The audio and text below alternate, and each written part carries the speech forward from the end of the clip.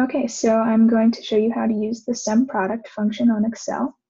And for this first activity, we're going to pretend to make our own creative metric for gauging how important the survey attribute uh, convenient location is, um, considering people who go to Chipotle more often. So we're going to use this important convenience metric as well as patronage, which is how many times in the last month have you visited Chipotle. So we're going to come down here and we can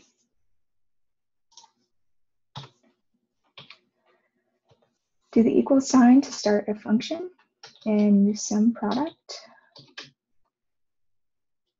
And Excel is nice. It helps you see which arguments you need to start.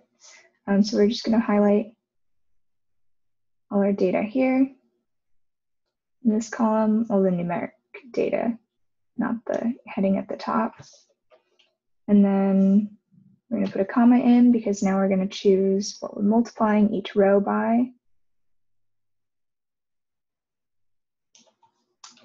And in the parentheses, though Excel will usually do that for you. Both Excel and Google Sheets will usually in the parentheses for you if you press enter.